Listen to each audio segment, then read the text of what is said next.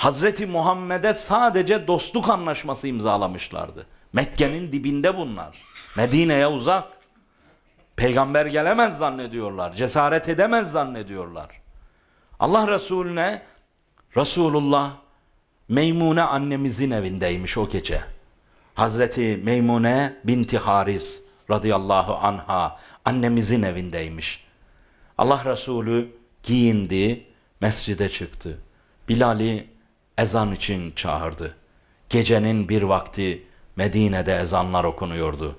15 Temmuz gecesi sela ve ezan niye okundu merak ediyorsanız aha oraya bakın.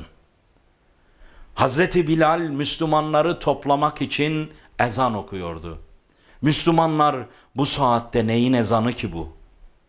Bu bir namaz ezanı değil ki. Vakit namaz vakti değil. Mescide koşuştular erkekler. Allah Resulü Amr bin Salim'i şimdi anlat dedi. Huza kabilesinin reisi ve şair Amr bin Salim el-Huzai konuşmaya başladı. Dedi ki bizi filan gece yurdumuzda gafil avladılar. Biz uyurken Müslümanlar secdede gece namazlarını kılıyorlar. İnsanlar uykuda, hayvanlar uykuda. Gecenin bir yarısı Beni Bekir oğulları bize baskın yaptılar. Bize baskın yapıp bizi evimizde gafil avladılar. 23 tane insanımızı öldürdüler. Onlarca insanı yaraladılar. Hayvanlarımızı önlerine katıp mallarına katıp ganimet gibi kaçırdılar, götürdüler. Bunu yapan Beni Bekiroğulları benim Muhammed'e yardıma geleceğimi hesap etmediler. Ey Muhammed! Bize yardım edecek misin? Bu bela vallahi bize senin yüzünden geldi. Biz seninle anlaşma yaptığımız için bize saldırdılar. Allah Resulü dinledi, dinledi. Sahabi merak ediyordu. Yani Mekke'nin dibinde saldırıya uğrayan bir kavim için Hazreti Muhammed Medine'nin güvenliğini tehlikeye atar mıydı? Ordu çıkarır mıydı acaba? Peygamber ne yapacak? Müslümanların bu konuda stratejisi ne olacak? Öyle ya kıyamete kadar Müslümanların başına bin bir türlü iş gelecek. Hazreti Peygamber dinledi, dinledi, sustu. Herkes Resulullah'ı bekliyor. Allah Resulü de başını önüne eğmiş, sanki Cebrail'den bir haber bekliyor. Biraz sonra başını kaldırdı ve dedi ki, Allah'ın bana yardım ettiği gibi ben de size yardım etmezsem bugünden sonra Allah bana yardım etmesin dedi. Vefaya bak. Resulullah'ın anlaşmaya, sözüne, sadakatine bak. Yani bizimle anlaşmanız yüzünden can veren şu mazlum topluluğa, zulme uğramış topluluğa eğer ben de size yardıma gelmezsem Allah da bana bugünden sonra yardımını kessin dedi. Halep'e niye gitmişiz anladınız mı? Altı bin tane şehit var Çanakkale'de Halepli. Altı bin çocuk yatıyor Halepli'nin oğlu. Çanakkale ile Halep'in ne iş olur ki? Ora benim vatanım dedi gitti çocuklar geri dönmediler. Ey Müslümanlar!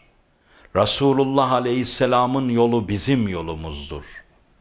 Peygamberimiz Mekke'ye haber saldı.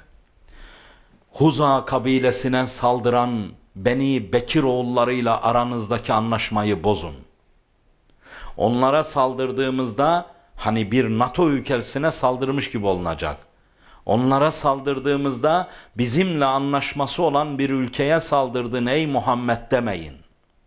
Onlarla bağınızı kopartın. Bir, kopartmıyor musunuz?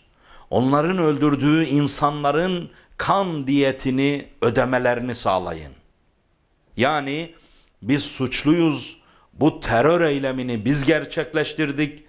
Geceleyin adamı evinde basıp haneye tecavüzde biz bulunduk. her bir ölü için şu kadar deve, her bir yaralı için de şu kadar koyun vereceğiz diye bize kan diyetinin sözünü verin. 2 3 Bu ikisini yapmazsanız siz de dahil, Mekke'de dahil bugünden sonra benden her şeyi bekleyin. Muhammed bin Abdullah Peygamberimiz Aleyhissalatu vesselam ve Amr bin Salim ayağa kalktı. Kılıcını göğsüne dayadı. Ya Muhammed dedi. Vallahi deden çok şerefli bir adamdı. Biz senin dedene karşı zulmeden bir kavme hakemlik ettiğimizde biz o gün haklı olan senin dedenden yana durmuştuk. Abdülmuttalib'i desteklemiş ve bu şehirden Ümeyye oğullarını çıkartmıştık.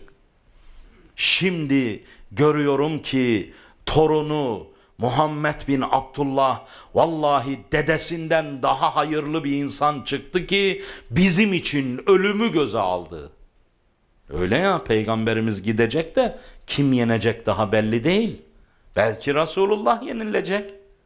Her şey var savaşta. Allah Resulü ölümü göze aldı.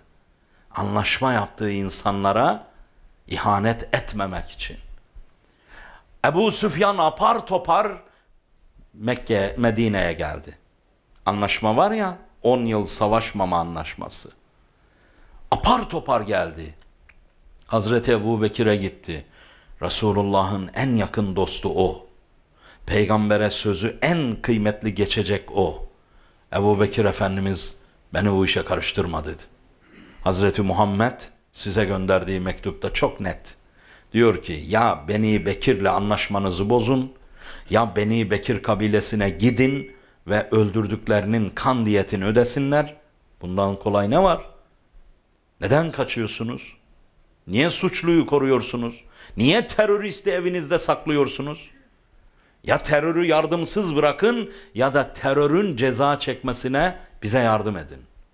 Bu anlaşmanın devam etmesi. Muhammed sizden başka bir şey istemedi. Ben bunun dışında bir alternatifle sana şefaat edemem dedi. Hazreti Ebu Bekir araya girmedi. Hazreti Ömer'e gitti. Hazreti Ömer de kabul etmedi. Hazreti Osman'a gitti. O da kabul etmedi. Ali'ye geldi. Hazreti Ali Efendimiz'e. Hazreti Ali yumuşak kalpli bir insan. Merhametli bir insan. Ehli Beyt'in babası.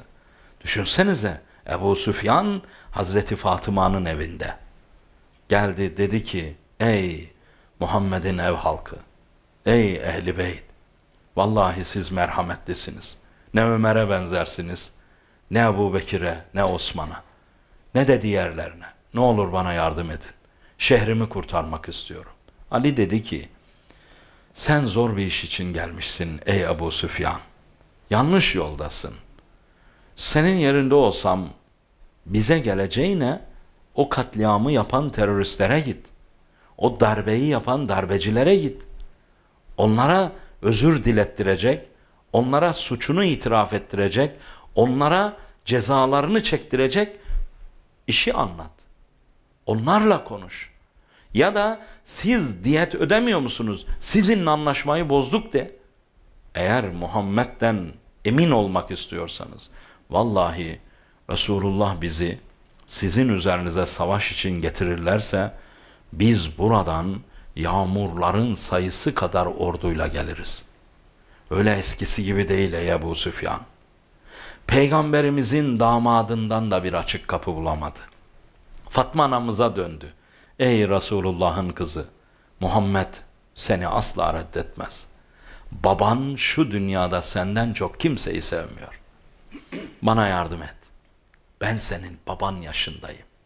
Şu ihtiyar adam kendi halkı için ki onlar sizin de akrabalarınız. Bir savaş çıkarsa bizden de çok adam ölecek. Ne olur babana git bu işten vazgeçmesini söyle. Hazreti Fatıma annemiz Hazreti Zehra radıyallahu anha ey Ebu Süfyan dedi.